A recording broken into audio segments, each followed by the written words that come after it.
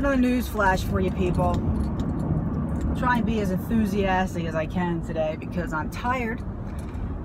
Because I just killed myself doing a workout that was like ungodly hard. Ugh.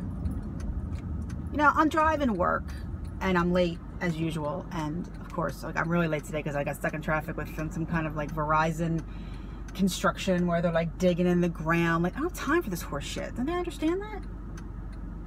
I digress. I'm coming down this street. Now, I take all these back roads to work because it's faster usually than taking the main road. Apparently today it wasn't. Here comes this woman. Okay, let me just let me just preface by saying that the roads that I take are very narrow. They're old roads from like years and years ago that weren't meant to honestly take this kind of traffic that's on there, take the kind of like volume of cars and different things. So they're very narrow and they just about fit two cars on them, you know, going either way. Here comes this broad, okay, around the corner with not one, but two dogs, okay?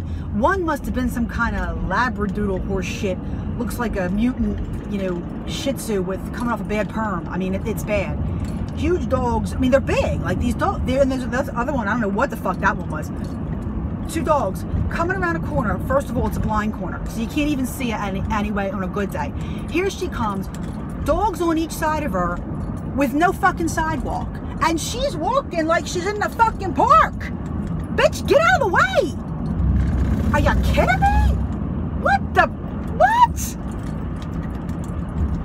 I swear to God, people, do you goddamn not have a brain in your head? Why in the world would you walk a dog? And I've never seen this one before. So it's not like she does it all the time or she's from around there or, or you know, isn't familiar with the friggin' what. I don't give a shit if I'm not familiar with whatever. If there's no sidewalks, I'm not walking in the street with my dog.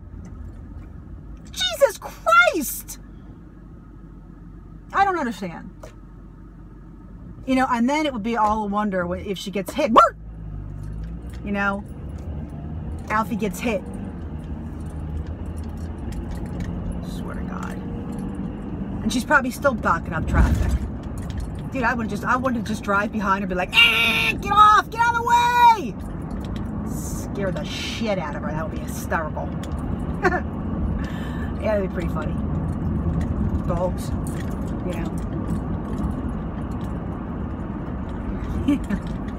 really, people? Calm down. Keep your dogs where they belong. On a sidewalk.